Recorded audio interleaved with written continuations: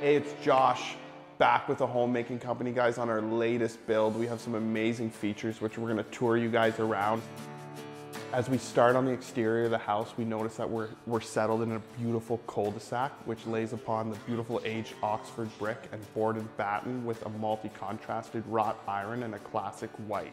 Guys, let's enter the house and show you what's going on on the inside. How cool is this dining area with this extra pantry and also this quartz backsplash that immediately flows into the kitchen, giving like a seamless look. The kitchen is a perfect balance of contemporary industrial with a natural feel. You can notice that right from the ceiling with the beautiful character grade hickory beams that flow down into the counter, which has gold accents that we pulled throughout the, the rest of the fixtures that also tie back into the appliances. In front of the kitchen, we focus on this beautiful staircase, which lets an overwhelming amount of natural light through this massive side window, as well as the skylight directly above. Before we go upstairs though, let's move on into the living room as we can see the continued natural look of the character grade hickory beams that also flow into the fireplace with a massive oversized mantle.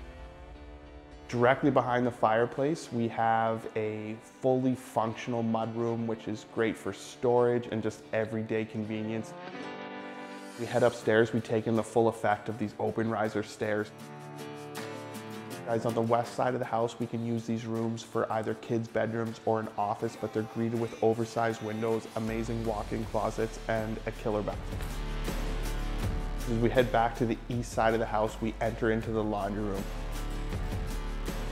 has a really unique floor tile, as well as great function throughout. That's enough for the laundry room though. Let's head into the master. As we first enter, we're greeted with a nice storage and makeup area that flows immediately into a nice 14 foot vaulted ceiling with a beautiful feature wall, oversized windows that complement the beautiful trees outside. As we enter into the bathroom, we head into a six piece full steam head rain shower complemented by his and her sinks with a beautiful soaker tub and I can feel the heated floors on my feet. We're not finished with this master bedroom yet. It flows into a beautifully crafted custom closet that connects to the laundry room that we were just in. We're greeted again with this beautiful staircase with an open to above concept which flows directly into the basement. The best feature of this basement is the full nine foot ceiling throughout.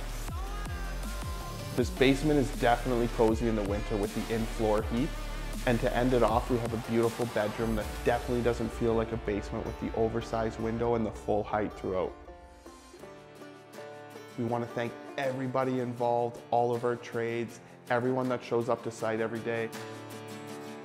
That wraps it up for the first half of our South Side project. We'll see you soon on the other side, but we have so many projects coming up, so I'm gonna get out of here and we'll see you soon.